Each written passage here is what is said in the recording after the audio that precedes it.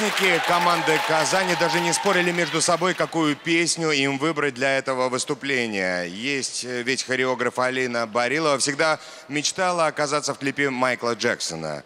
Сможет ли мечта хореографа привести команду «Казани» к победе? Узнаем прямо сейчас.